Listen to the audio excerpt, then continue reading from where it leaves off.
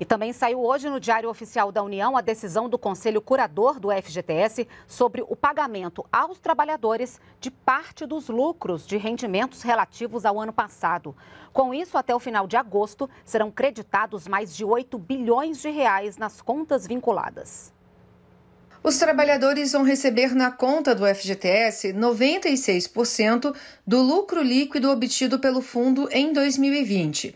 Isso dá mais de 8 bilhões e 100 milhões de reais, valor 8,3% maior do que o que foi distribuído no ano passado.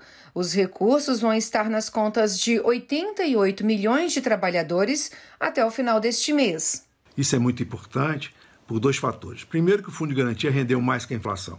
Então, contra o IPCA de 4,52 de 2020, o fundo rendeu 4,92 mais inclusive que a caderneta de poupança. O lucro será depositado na conta do fundo de forma proporcional ao que cada trabalhador tinha em dezembro de 2020.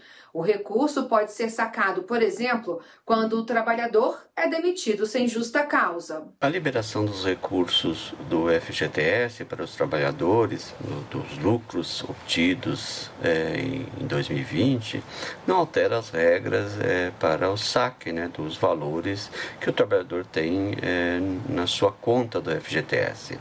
É, esse é um colchão de recursos, uma reserva de recursos que o trabalhador tem para fazer frente a uma série de situações em que ele pode enfrentar no sua, na sua, ao longo do sua, das suas atividades é, é, produtivas.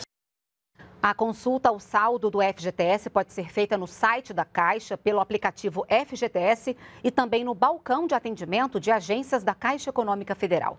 Para mais informações, o trabalhador também pode ligar para o telefone 0800 726 0101.